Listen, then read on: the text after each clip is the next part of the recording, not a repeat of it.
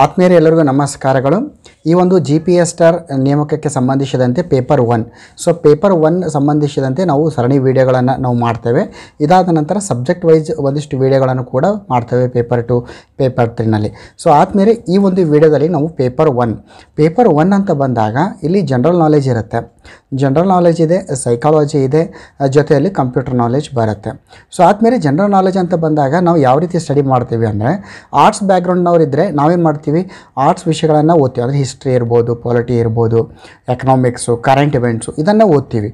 ನಾವು ಅಲ್ಲಿ ವಿಜ್ಞಾನದ ಪ್ರಶ್ನೆಗಳು ಅಂತ ಬಂದಾಗ ನಮ್ಗೆ ಏನಾಗ್ತದೆ ಅಂದರೆ, ಇಲ್ಲ ವಿಜ್ಞಾನದ ಪ್ರಶ್ನೆಗಳು ಸ್ವಲ್ಪ ಬರ್ತವೆ, ಅವುಗಳನ್ನು ಹೊರತುಪಡಿಸಿ ಉಳಿದ ಎಲ್ಲ ಪ್ರಶ್ನೆಗಳನ್ನು ನಾನು ಆನ್ಸರ್ ಮಾಡಲಿಕ್ಕೆ ಸಾಧ್ಯ. ಸೊ ನಾವು ಈ ರೀತಿ ಡಿಸಿಷನ್ಗೆ ಬರ್ತೀವಿ. ಸೊ ನಾವು ಯಾವ ರೀತಿ ವಿಚಾರ ಮಾಡಿರ್ತೀವಿ, ಅದೇ ರೀತಿ ಎಲ್ಲರೂ ಕೂಡ ವಿಚಾರ ಮಾಡ್ತಾರೆ. ಅಂದರೆ ಅಲ್ಲಿ ಸೈನ್ಸ್ ಕ್ವಶನ್ಸನ್ನು ನೀವು ಸ್ಟಡಿ ಹೇಗೆ ನೀವು ವಿಚಾರ ಮಾಡ್ತೀರಿ may be five to ten science questions ಬರ್ಬೋದು. ಈ ಒಂದು ಟೆನ್ ಕ್ವಶನ್ ಸಲುವಾಗಿ ನಾವು ಯಾಕೆ ಟೈಮ್ ವೇಸ್ಟ್ ಮಾಡಬೇಕು ಅಂತ. ಸೊ ಆದಮೇಲೆ ನೀವು ಆರ್ಟ್ಸ್ ಬ್ಯಾಕ್ಗ್ರೌಂಡ್ ಇದ್ದರೆ ನಿಮಗೆ ಆ science questions they play very important role ಅಂದರೆ ಯಾರು ಸೈನ್ಸ್ ಕ್ವಶನ್ಸನ್ನು ಇಲ್ಲಿ ಆನ್ಸರ್ ಮಾಡ್ತಾರೆ, ಅವರ appointment hundred and one percent ಪಕ್ಕ. ಇನ್ನು ಸೈನ್ಸ್ ಬ್ಯಾಕ್ಗ್ರೌಂಡ್ ಇದ್ದರೆ ಈ ಜಿ ಕೆಯಲ್ಲಿ ನೀವು ಸೈನ್ಸ್ ಕ್ವಶನ್ಸನ್ನು ಸಾಲ್ವ್ ಮಾಡ್ತೀರಿ.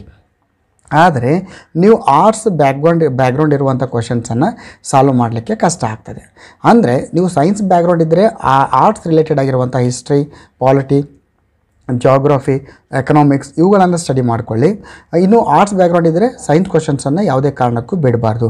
ನಿಮ್ಮ ಕೀ ಸಕ್ಸಸ್ ಏನಿದೆ ಅಪಾಯಿಂಟ್ಮೆಂಟ್ ಏನಿದೆ ಅಂದರೆ ನಿಮ್ಮ ಒಂದು ಈ ವೀಕ್ನೆಸ್ ಪಾಯಿಂಟನ್ನು ಸ್ಟ್ರೆಂಥನ್ ಮಾಡ್ಕೋಬೇಕು. ಆರ್ಟ್ಸ್ ಇದ್ದರೆ ಸೈನ್ಸ್ ವೀಕ್ನೆಸ್ ಪಾಯಿಂಟ್ ಇರುತ್ತೆ ಸೈನ್ಸ್ ಬ್ಯಾಕ್ಗ್ರೌಂಡ್ ಇದ್ದರೆ ಆರ್ಟ್ಸ್ ರಿಲೇಟೆಡ್ ಆಗಿರುವಂಥ ಏನು ಸಬ್ಜೆಕ್ಟ್ಸ್ ಇದೆ, ಅದು ನಿಮ್ಮ ವೀಕ್ನೆಸ್ ಪಾಯಿಂಟ್ ಆಗಿರುತ್ತೆ. ಸೊ ಆ ಒಂದು ನಿಟ್ಟಿನಲ್ಲಿ ನಾವು ಪೇಪರ್ ಒನ್ನಲ್ಲಿ ಬರುವಂತಹ ಒಂದು ಸೈನ್ಸ್ ಏನು ಕ್ವಶನ್ಸ್ ಬರುತ್ತೆ, ಅದನ್ನು ಒಂದಿಷ್ಟು ಸರಣಿ ವೀಡಿಯೋಗಳಲ್ಲಿ ಮಾಡ್ತಾ ಹೋಗ್ತೀವಿ. ಸೊ ಆದಮೇಲೆ ಹಿಂದೆ ನಾವು ಈಗ ಜಿ ಪಿ ಎಸ್ ಟಿ ಆರ್ನ ವೀಡಿಯೋಸ್ ಮಾಡಿದಾಗ ಪೇಪರ್ ಒನ್ ಅಂತ ಬರೆದು ಅಲ್ಲಿ ಒನ್ ಟು ತ್ರೀ ಫೋರ್ ಅಂತ ನಾವು ಮಾರ್ಕನ್ನು ಮಾಡ್ತಾ ಹೋಗ್ತೀವಿ. ಸೊ ಅದನ್ನು ನೀವು ಫಾಲೋ ಮಾಡ್ತಾ ಹೋಗಿ. ಸೊ ಆದಮೇಲೆ ಈ ಒಂದು ವಿಜ್ಞಾನ ವಿಷಯಕ್ಕೆ ಸಂಬಂಧಿಸಿದಂತೆ ಪೇಪರ್ ಒನ್ನಲ್ಲಿ ಈಗಾಗಲೇ ಸಾರ್ವಜನಿಕ ಶಿಕ್ಷಣ ಇಲಾಖೆ ಸಿಲೆಬಸನ್ನು ಸ್ಪಷ್ಟಪಡಿಸಿದೆ. ಆ ಒಂದು ಸಿಲೆಬಸ್ ಪ್ರಕಾರ ನಮ್ಗೆ ಏನಾಗ್ತದೆ ಅಂದರೆ ಇಲ್ಲಿ ಇನ್ವೆನ್ಷನ್ ಆ್ಯಂಡ್ ಡಿಸ್ಕವರೀಸ್ ಅಂತ ಬರುತ್ತೆ ಇಲ್ಲಿ. ಇನ್ವೆನ್ಷನ್ ಅಂತ ಮತ್ತು ಡಿಸ್ಕವರೀಸ್ ಇನ್ವೆನ್ಷನ್ ಆವಿಷ್ಕಾರಗಳು ಮತ್ತು ಡಿಸ್ಕವರೀಸ್ ಇದೆ. ಆ ಒಂದು ಇಂಪಾರ್ಟೆಂಟ್ ಆಗಿರುವಂಥ ಇನ್ವೆನ್ಷನ್ ಮತ್ತು ಡಿಸ್ಕವರೀಸ್ಗಳನ್ನು ನಾನು ನಿಮ್ಮೊಂದಿಗೆ ಚರ್ಚೆಯನ್ನು ಮಾಡ್ತೇನೆ. ನೀವು ಜಸ್ಟ್ ಈ ವಿಡಿಯೋನ ಕೇಳ್ತಾ ಹೋಗಬೇಡಿ. ಯೂಸ್ ಆಗೋದಿಲ್ಲ ನಿಮಗೆ. ನೀವು ಈ ವಿಡಿಯೋನ ಕೇಳ್ತಾ ನೋಟ್ಬುಕ್ನಲ್ಲಿ ನೋಟ್ ಮಾಡ್ಕೋತಾ ಹೋಗಬೇಕು. ಯಾವಾಗ ನೀವು ನೋಟ್ ಮಾಡ್ತಾ ಹೋಗ್ತೀರಿ ಅದನ್ನು ನೀವು ಮತ್ತೆ ನೀವು ಎಕ್ಸಾಮ್ ಹತ್ತಿರ ಬಂದಾಗ ರಿಪಿಟೇಷನ್ ಮಾಡಲಿಕ್ಕೆ ಆಗ್ತದೆ. ಅದರ್ವೈಸ್ ಈ ವಿಡಿಯೋಗಳ ಲಿಂಕ್ಗಳನ್ನು ಶೇರ್ ಮಾಡಿಕೊಳ್ಳಿ. ಖಂಡಿತವಾಗಿಯೂ ಕೂಡ ಪರೀಕ್ಷೆ ಬಂದಾಗ ಇದನ್ನು ರಿಪಿಟೇಷನ್ ಕೂಡ ನೀವು ಮಾಡ್ಬೋದು. ಸೊ ಬನ್ನಿ ನೋಡ್ತಾ ಹೋಗೋಣ ಈ ಒಂದು ಇನ್ವೆನ್ಷನ್ ಡಿಸ್ಕವರೀಸ್ನಲ್ಲಿ ಈ ಸರ್, ಈಗಾಗಲೇ ವಿಜ್ಞಾನದಲ್ಲಿ ಸಾವಿರಾರು ಅಲ್ಲ, ಲಕ್ಷಾಂತರ ಇನ್ವೆನ್ಷನ್ಸ್ ಆಗಿದೆ ಡಿಸ್ಕವರೀಸ್ ಆಗಿದೆ. ಹಾಗಾದರೆ ಪರೀಕ್ಷೆ ದೃಷ್ಟಿಯಿಂದ ನಾವು ಯಾವುದನ್ನು ಓದಬೇಕು?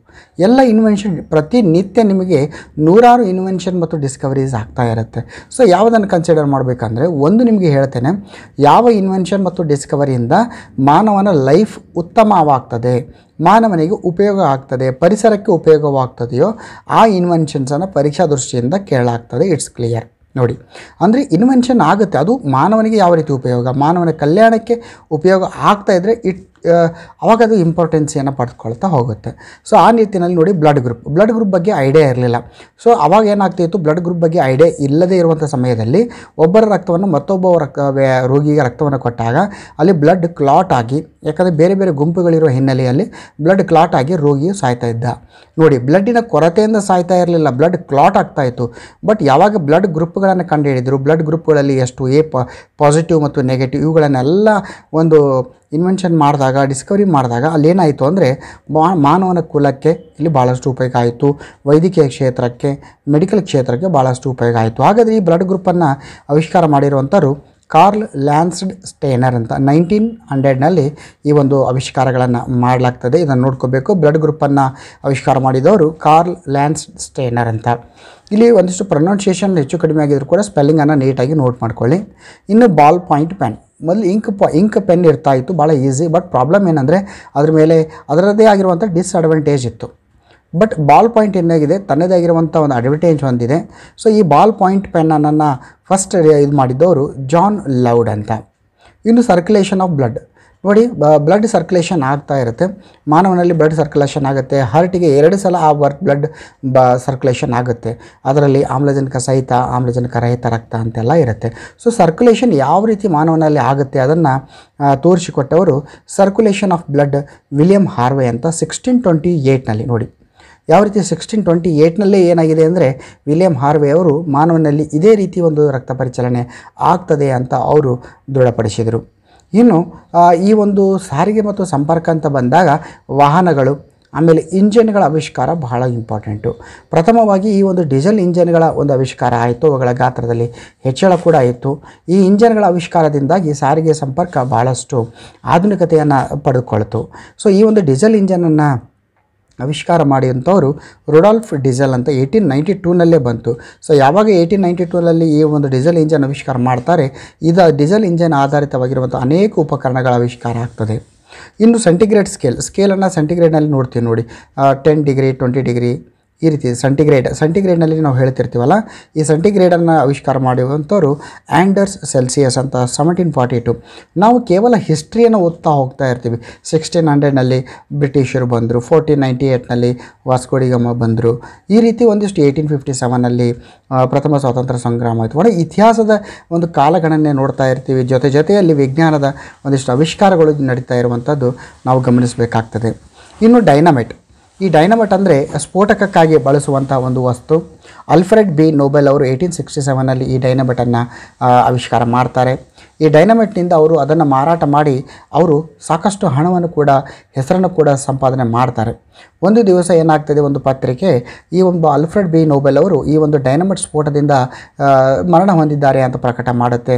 ಆ ಒಂದು ಮಾಹಿತಿ ಆ್ಯಕ್ಚುಲಿ ಅವರು ಮರಣ ಹೊಂದಿರುವುದಿಲ್ಲ ಯಾವಾಗ ಈ ಒಂದು ಮಾಹಿತಿ ತಪ್ಪಾಗಿ ಪ್ರಕಟ ಆಯಿತು ಆಗ ಸಾಕಷ್ಟು ಜನ ಟೀಕೆ ಮಾಡ್ತಾರೆ. ಏನಂದರೆ ಡೈನಮೈಟನ್ನು ಕಂಡು ಹಿಡಿದು ಇರುವಂಥ ಅಲ್ಫ್ರೆಡ್ ನೋಬೆಲ್ ಸಾವಿರಾರು ಜನರ ಸಾವಿಗೆ ಕಾರಣನಾಗಿದ್ದಾನೆ. ಈ ವ್ಯಕ್ತಿಯು ಸತ್ತಿರುವಂಥದ್ದು ಬಹಳಷ್ಟು ಉತ್ತಮ ಅಂತ ಪ್ರತಿಕ್ರಿಯೆ ನೀಡ್ತಾರೆ. ಆದರೆ ಅಲ್ಫ್ರೆಡ್ ನೋಬೆಲ್ ಅವಾಗ ಇನ್ನೂ ತೀರ್ಕೊಂಡಿರಲಿಲ್ಲ. ಸೊ, ಈ ಒಂದು ಡೈನಮೈಟ್ ಒಂದು ಆವಿಷ್ಕಾರ ಮಾನವನ ಸರ್ವನಾಶಕ್ಕೆ ಉಪಯೋಗ ಆಗ್ತಿರೋದನ್ನು ಮನಗಂಡ ಅಲ್ಫ್ರೆಡ್ ಬಿ ನೋಬೆಲ್ ಅವರು ನೋಬೆಲ್ ಪ್ರಶಸ್ತಿಯನ್ನು ಸ್ಥಾಪನೆ ಮಾಡಿ ಅದರ ಮುಖಾಂತರ ಅವಾರ್ಡ್ಗಳನ್ನು ಕೊಡುವಂಥದ್ದು ಬೇರೆ ಬೇರೆ ಕ್ಷೇತ್ರಗಳಲ್ಲಿ ಸಾಧನೆ ಮಾಡಿರುವಂಥ ವ್ಯಕ್ತಿಯನ್ನು ಗುರುತಿಸುವಂಥ ಕೆಲಸವನ್ನು ಕೂಡ ಮಾಡ್ತಾರೆ. ಇಲ್ಲಿ ನಾವು ನೋಡಬೇಕಾಗಿರುವಂಥದ್ದು ಅಲ್ಫ್ರೆಡ್ ಬಿ ನೋಬೆಲ್ರವರು ಈ ಒಂದು ಡೈನಮಿಟನ್ನು ಕಂಡಿಡಿದಿರುವಂಥದ್ದು ಇನ್ನು ನೆಕ್ಸ್ಟ್ ಈಗಾಗಲೇ ಡೀಸೆಲ್ ಇಂಜನ್ ಹೇಳಿದ್ದೇವೆ, ಹೈಡ್ರೋಜನ್. ಹೈಡ್ರೋಜನ್ ಧಾತು ಏನಿದೆ ಎಲಿಮೆಂಟ್ ಇಟ್ಸ್ ವೆರಿ ಇಂಪಾರ್ಟೆಂಟ್ ನೀರಿನ ಒಂದು ಭಾಗವಾಗಿದೆ ಹೈಡ್ರೋಜನ್. ಸೊ ಹೈಡ್ರೋಜನ್ ಇದನ್ನು ಇಲ್ಲಿ ತೋರಿಸಿಕೊಟ್ಟವರು ಹೆನ್ರಿ ಕ್ಯಾವೆಂಡಿಶ್ ಅಂತ ಸೆವೆಂಟೀನ್ ಸಿಕ್ಸ್ಟಿ ಸಿಕ್ಸ್ನಲ್ಲಿ ಹೈಡ್ರೋಜನ್ ಇರುವಿಕೆಯನ್ನು ಹೇಳ್ತಾರೆ. ಇನ್ನು ನೆಕ್ಸ್ಟ್ ಬರುವಂಥದ್ದು ಇನ್ಸುಲಿನ್ ಇನ್ಸುಲಿನ್ ಅಂತ ಬಂದಾಗ ಭಾಳ ಇಂಪಾರ್ಟೆಂಟು. ನಮ್ಮ ಪ್ಯಾಂಕ್ರಿಯಾಸ್ ಏನಿದೆ, ಇನ್ಸುಲಿನ್ ಮತ್ತು ಗ್ಲುಕೋಗಾನ್ ಅಂತ ಎರಡು ಹಾರ್ಮೋನನ್ನು ಬಿಡುಗಡೆ ಮಾಡುತ್ತೆ ಈ ಇನ್ಸುಲಿನ್ ಏನು ಮಾಡುತ್ತೆ, ನಮ್ಮ ರಕ್ತದಲ್ಲಿ ಗ್ಲುಕೋಸಿನ ಪ್ರಮಾಣ ಅಥವಾ ಸರಳ ಭಾಷೆಯಲ್ಲಿ ಹೇಳಬೇಕಾದಾಗ ರಕ್ತದಲ್ಲಿ ಸಕ್ಕರೆ ಪ್ರಮಾಣವನ್ನು ನಿಯಂತ್ರಣ ಮಾಡುವಂಥ ಕೆಲಸವನ್ನು ಈ ಇನ್ಸುಲಿನ್ ಮಾಡುತ್ತೆ. ನಿಯಂತ್ರಣ ಅಂತ ಬಂದಾಗ ರಕ್ತದಲ್ಲಿ ಸಕ್ಕರೆ ಪ್ರಮಾಣ ಅಥವಾ ಗ್ಲುಕೋಸ್ ಪ್ರಮಾಣ ಹೆಚ್ಚಾದಾಗ ಅದನ್ನು ನಿಯಂತ್ರಣ ಮಾಡಲಿಕ್ಕೆ ಇನ್ಸುಲಿನ್ ಬಿಡುಗಡೆ ಆಗುವಂಥದ್ದು ಪ್ಯಾಂಕ್ರಿಯಾಸ್ನಿಂದ ಸೊ ಆ ಇನ್ಸುಲಿನ್ ಏನು ಮಾಡುತ್ತೆ? ಹೆಚ್ಚುವರಿ ಗ್ಲುಕೋಸನ್ನು ಕನ್ವರ್ಟ್ ಮಾಡಿ ಅದು ಒಂದು ಎಡಿಪೋಸ್ ಅಂಗಾಂಶಗಳಲ್ಲಿ ಶೇಖರಣೆ ಮಾಡ್ತದೆ. ಸೊ ಈ ಇನ್ಸುಲಿನ್ ಹಾರ್ಮೋನ್ ಇರುವಿಕೆಯನ್ನು ಕಂಡುಹಿಡಿದಿರುವಂಥದ್ದು ಸರ್ ಫ್ಯಾಡ್ರಿಕ್ ಬ್ಯಾಂಟಿಂಗ್ ಅಂತ ನೈನ್ಟೀನ್ ಟ್ವೆಂಟಿ ತ್ರೀನಲ್ಲಿ ಕಂಡುಹಿಡಿದರು. ಆಮೇಲೆ ಇನ್ಸುಲಿನ್ ಮೇಲೆ ಸಾಕಷ್ಟು ಪ್ರಯೋಗಗಳಾಯಿತು. ಇದು ಮಧುಮೇಹ ರೋಗಿಗಳಿಗೆ, ಸಕ್ಕರೆ ರೋಗಿಗಳಿಗೆ ನಾವೇನು ಹೇಳ್ತೀವಿ? ರೋಗಿಗಳಿಗೆ ಸಾಕಷ್ಟು ಔಷಧಿಯನ್ನು ಕಂಡುಹಿಡುವಲ್ಲಿ, ಚಿಕಿತ್ಸೆಯನ್ನು ನೀಡುವ ನಿಟ್ಟಿನಲ್ಲಿ ಭಾಳ ಸಹಕಾರಿನೇ ಆಯಿತು. ಇನ್ನು ಪೋಲಿಯೋ ವ್ಯಾಕ್ಸಿನ್. ಪೋಲಿಯೋ ಅಂತ ಬಂದಾಗ ಈಗ ಯಾವ ರೀತಿ ಕೋವಿಡ್ ನೈನ್ಟೀನ್ ಸಿಚುವೇಷನಿಂದ ನಾವು ತತ್ತರಗೊಂಡಿದ್ದೇವೆ, ಅಲ್ಲಿ ಪೋಲಿಯೋ ಇಂದ ಭಾಳಷ್ಟು ಇಡೀ ಜಾಗತಿಕ ಮಟ್ಟದಲ್ಲಿ ಪೋಲಿಯೋ ಇನ್ಫೆಕ್ಷನ್ ಆಗ್ತಾ ಇತ್ತು. ಸೊ ಇದರಿಂದ ಅಂಗವಿಕಲತೆ ಕೂಡ ಆಗ್ತಾ ಇತ್ತು. ಸೊ ಇದಕ್ಕೆ ವ್ಯಾಕ್ಸಿನ್ ಕಂಡುಹಿಡಿರುವಂಥದ್ದು ಜೋನಸ್ ಆಡ್ವರ್ಡ್ ಸಾಕ್ ಅಂತ. ನೋಡಿ ನೋಟ್ ಮಾಡ್ಕೊಳ್ಳಿ. ಜೋನಸ್ ಆಡ್ವರ್ಡ್ ಸಾಕ್ ಏನು ಮಾಡ್ತಾರೆ? ಈ ಒಂದು ವ್ಯಾಕ್ಸಿನನ್ನು ಕಂಡುಹಿಡುವುದರ ಮುಖಾಂತರ ಪೋಲಿಯೋ ಈಗ ನಾವು ಪೋಲಿಯೋ ರಹಿತ ಭಾರತ ಪೋಲಿಯೋ ಮುಕ್ತ ಭಾರತ ಅಂತ ನಾವು ಘೋಷಣೆ ಮಾಡುವ ನಿಟ್ಟಿನಲ್ಲಿ ಈ ವ್ಯಾಕ್ಸಿನ್ಸ್ ನಮಗೆ ಹೆಲ್ಪ್ ಆಗ್ತಾ ಇದೆ. ಇನ್ನು ಡಿಮಿಟ್ರಿ ಮೆಂಡಲಿವ್ ಏಯ್ಟೀನ್ ಸಿಕ್ಸ್ಟಿ ನೈನಲ್ಲಿ ಏನಂದರೆ ಈ ಒಂದು ಎಲಿಮೆಂಟ್ಸ್ಗಳನ್ನು ಧಾತುಗಳನ್ನು ಆವಿಷ್ಕಾರ ಮಾಡಿದ ನಂತರ ಅವುಗಳ ಒಂದು properties chemical property physical property ಆಧಾರದ ಮೇಲೆ ಅವುಗಳನ್ನು ಒಂದು ಟೇಬಲ್ನಲ್ಲಿ ಅರೇಂಜ್ ಮಾಡುವಂಥ ಮಾ, ಪ್ರಯತ್ನ ಮಾಡ್ತಾರೆ. ಅದನ್ನು ಪಿರಿಯಾಡಿಕ್ ಟೇಬಲ್ ಆವರ್ತಕ ಕೋಷ್ಟಕ ಅಂತ ಕರಿತೀವಿ. ಸೊ ಆವರ್ತಕ ಕೋಷ್ಟಕವನ್ನು ರಚನೆ ಮಾಡಿರುವಂಥದ್ದು ಡಿಮಿಟ್ರಿ ಮ್ಯಾಂಡೆಲಿವ್ ಅಂತ. ಇನ್ನು ನೆಕ್ಸ್ಟ್ ಬರುವಂಥದ್ದು ಇಲ್ಲಿ ಅಲೆಕ್ಸಾಂಡರ್ ಫ್ಲಾಮಿಂಗ್ ಪೆನ್ಸಿಲಿನ್ ಎಂಬ ಒಂದು ಮೆಡಿಸನನ್ನು ಕಂಡುಹಿಡಿತಾರೆ ಭಾಳ ರೋಚಕವಾಗಿರುವಂಥ ಒಂದು ಕಥೆ. ಈ ಒಂದು ಅಲೆಕ್ಸಾಂಡರ್ ಫ್ಲಾಮಿಂಗ್ ಏನು ಮಾಡ್ತಾರೆ? ಈ ಒಂದು ಮಾ, ವಿಶ್ವಯುದ್ಧಗಳು ನಡೆದ, ನಡೆಯುತ್ತಿರುವಾಗ ಮಹಾಯುದ್ಧ ಒಂದು, ಮಹಾಯುದ್ಧ ಎರಡರಲ್ಲಿ ಸಾಕಷ್ಟು ಸೋಲ್ಜರ್ಸ್ ಏನಾಗ್ತಾ ಇದ್ರು, ಅಲ್ಲಿ ಗುಂಡಿನ ಏಟು ಅಥವಾ ಗಾಯಗಳಾಗ್ತಾ ಇತ್ತು. ಸೊ ಈ ರೀತಿ ಗಾಯಗಳಾದಾಗ ಅಲ್ಲಿರುವಂಥ ಸೋಲ್ಜರ್ಸು ಗಾಯಗಳಿಂದ ತೀರ್ಕೊಳ್ತಾ ಇರಲಿಲ್ಲ. ಗಾಯಗಳಿಂದ ಅವರು ಸಾಯ್ತಾ ಇರಲಿಲ್ಲ. ಬಟ್ ಚಿಕ್ಕ ಗಾಯಗಳ ನಂತರ ಏನು ನಂಜಾಗ್ತಾ ಇತ್ತು? ಆ ನಂಜಿನಿಂದ ಸಾವನ್ನು ಇದ್ದರು ಇದನ್ನು ಗಮನಿಸಿರುವಂಥ ಅಲೆಕ್ಸಾಂಡರ್ ಫ್ಲಾಮಿಂಗ್ ಅವರು ಸಾಕಷ್ಟು ಚಿಕಿತ್ಸೆ ಕೊಡುವಂಥ ಪ್ರಯತ್ನ ಮಾಡ್ತಾರೆ, ಸಫಲ ಆಗೋದಿಲ್ಲ. ಇದೇ ರೀತಿ ಒಂದು ಕುಂತಾಗ ಒಂದು ಬ್ರೆಡ್ಡನ್ನು ಸೇವನೆ ಮಾಡ್ತಾ ಇರ್ತಾರೆ. ಆ ಬ್ರೆಡ್ಡನ್ನು ಸೇವನೆ ಮಾಡುವಾಗ ಒಂದಿಷ್ಟು ಒಂದು ಚೂರು ಬ್ರೆಡ್ ಎಕ್ಸ್ಟ್ರಾ ಉಳಿಯುತ್ತೆ, ಅದು ಪ್ಲೇಟ್ನಲ್ಲೇ ಇರುತ್ತೆ, ಅದನ್ನು ಹಾಗೆ ಇಡ್ತಾರೆ. ಸೊ ನೆಕ್ಸ್ಟ್ ಡೇ ಬಂದು ಆ ಬ್ಲಡ್ಡನ್ನು ತೆಗೆದುಕೊಂಡು ನೋಡ್ತಾರೆ, ಇರುತ್ತೆ. ಮೈಕ್ರೋಸ್ಕೋಪ್ನಲ್ಲಿ ಆ ಪ್ಲೇಟನ್ನು ಅಬ್ಸರ್ವೇಷನ್ ಮಾಡಿದಾಗ ಆ ಬ್ರೆಡ್ ಸುತ್ತಮುತ್ತಲು ಏನು ಬ್ರೆಡ್ ಮೇಲೆ ಒಂದು ಬೂಸ್ಟ್ ಬೆಳೆದಾ ಇರುತ್ತೆ, ಒಂದು ಫಂಗಸ್ ಬೆಳೆದ ಬೆಳೆದಿರುತ್ತೆ. ಆ, ಎಲ್ಲಿ ಆ ಫಂಗಸ್ ಬೆಳೆದಿರುತ್ತೆ, ಅದರ ಸುತ್ತಲೂ ಯಾವುದೇ ರೀತಿಯ ಮೈಕ್ರೋ ಆರ್ಗನಿಸಮ್ಸ್ ಇರೋದಿಲ್ಲ. ಆವಾಗ ಅವ್ರು ಕಂಡುಕೊಳ್ತಾರೆ, ಈ ಒಂದು ಫಂಗಸ್ ಏನಿದೆ, ಅದು ಮೈಕ್ರೋ ಆರ್ಗನಿಸಮ್ಸನ್ನು ಅದು ಡಿಆಕ್ಟಿವ್ ಮಾಡುತ್ತೆ ಅಥವಾ ನಾಶ ಮಾಡುತ್ತೆ ಅಂತ. ಆವಾಗ ಅವರು ಆ ಫಂಗಸನ್ನು ತೆಗೆದುಕೊಂಡು ಅದರಿಂದ ಮೆಡಿಸಿನ್ಸನ್ನು ತಯಾರು ಮಾಡ್ತಾರೆ, ಅದನ್ನು ಪೆನ್ಸಿಲಿನ್ ಅಂತ ಹೆಸರಿಡ್ತಾರೆ. ಅದನ್ನು, ಅದು ಆ್ಯಕ್ಚುಲಿ ಇರುವಂಥ ಫಂಗಸ್ ಹೆಸರು ಪೆನ್ಸಿಲಿನ್ ನೋಟೆಟಮ್ ಅಂತ. ಆ ಪೆನ್ಸಿಲಿನ್ ನೋಟೇಟಮನ್ನು ಬಳಸಿಕೊಂಡು ತಯಾರಿಸಿರುವಂಥ ಔಷಧಿ ಪೆನ್ಸಿಲಿನ್. ನೋಡಿ, ಯಾವ ರೀತಿ ರೋಚಕವಾಗಿರುವಂಥ ಒಂದು ಆವಿಷ್ಕಾರ ಆಗ್ತದೆ ಇಲ್ಲಿ ಅಲೆಕ್ಸಾಂಡರ್ ಫ್ಲೆಮಿಂಗ್ ಅವರಿಂದ. ಆಮೇಲೆ ಮೇರಿ ಕ್ಯೂರಿ ಮತ್ತು ಪಿಯರ್ ಕ್ಯೂರಿ ಇವರು ದಂಪತಿಗಳು wife and husband eighteen ninety ಏಯ್ಟ್ನಲ್ಲಿ ರೇಡಿಯಮನ್ನು ಆವಿಷ್ಕಾರ ಮಾಡ್ತಾರೆ. ಈ ರೇಡಿಯಂನಿಂದ ಏನು ಕಿರಣಗಳು ಬಿಡುಗಡೆ ಆಗ್ತವೆ, ಅದನ್ನು ಪ್ರವೇಶ ಮಾಡಿ ಮೇರಿ ಕ್ಯೂರಿ ಅವರು ಕ್ಯಾನ್ಸರ್ ಕ್ಯಾನ್ಸರ್ನಿಂದ ಕೂಡ ತುತ್ತಾಗ್ತಾರೆ. ಅಂದರೆ ಈ ರೇಡಿಯಂ ಆವಿಷ್ಕಾರಕ್ಕಾಗಿ ತಮ್ಮ ಪ್ರಾಣವನ್ನೇ ಕೊಟ್ಟಿರುವಂತಹ ವ್ಯಕ್ತಿ ಅಂತಲೇ ಹೇಳ್ಬೋದು.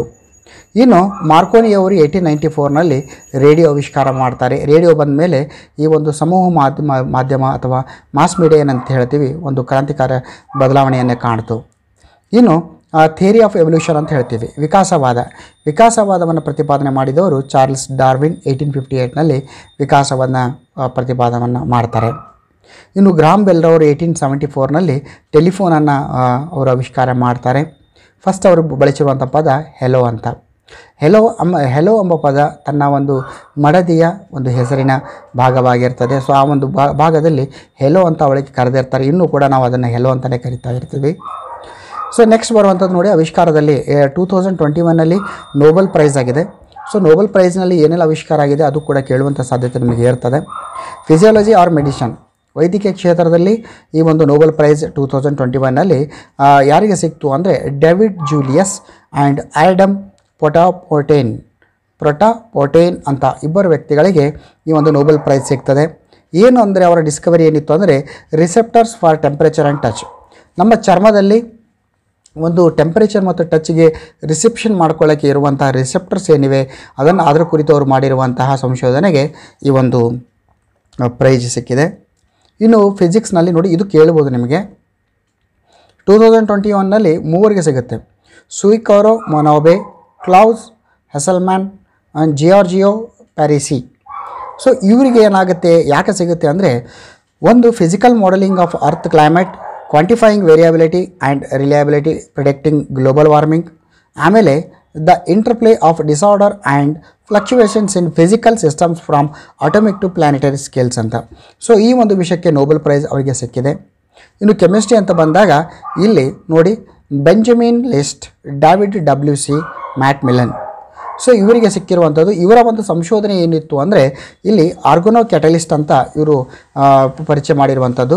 ಆರ್ಗೊನೋ ಕ್ಯಾಟಲಿಸ್ಟ್ ಅಂದರೆ, ಈ ಒಂದು ಕ್ಯಾಟಲಿಸ್ಟ್ ಇರುತ್ತೆ ಈ ಕ್ಯಾಟಲಿಸ್ಟ್ ಏನು ಮಾಡುತ್ತೆ? ಕೆಮಿಕಲ್ ರಿಯಾಕ್ಷನ್ಸನ್ನು ಅದು ಕಂಟ್ರೋಲ್ ಮಾಡುತ್ತೆ ಫಾಸ್ಟ್ ಮಾಡುತ್ತೆ. ಬಟ್ ಆ ಕ್ಯಾಟಲಿಸ್ಟ್ ಆಗಿರುವಂಥದ್ದು ಆರ್ಗ್ಯಾನಿಕ್ ಮೆಟೀರಿಯಲಿಂದ ಅಂದರೆ, ಒಂದು ಆರ್ಗ, ಜೀವಿಗಳಿಂದ ಉತ್ಪಾದನೆ ಆಗಿರುವಂಥ ಒಂದು ವಸ್ತುವಿನಿಂದ ಈ ಒಂದು ಕೆಟಲಿಸ್ಟ್ಗಳು ಮಾಡ್ತವೆ. ಕೆಟಲಿಸ್ಟ್ ಅಂದರೆ ಏನಂದರೆ, ಕೆಮಿಕಲ್ ರಿಯಾಕ್ಷನ್ ಸ್ಪೀಡನ್ನು ಕಂಟ್ರೋಲ್ ಮಾಡುವಂಥ ವಸ್ತು ಅಂತಲೇ ನಾವು ಹೇಳ್ಬೋದು.